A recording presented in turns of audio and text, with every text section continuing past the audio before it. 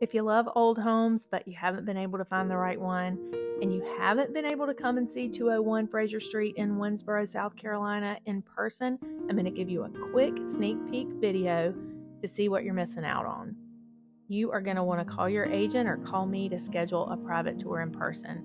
This home was built circa 1900 and it's got all those lovely details that you expect of a home built in that period the high ceilings, the hardwood floors, the trim molding, the fireplaces, just the spacious rooms, the big windows, the natural lighting.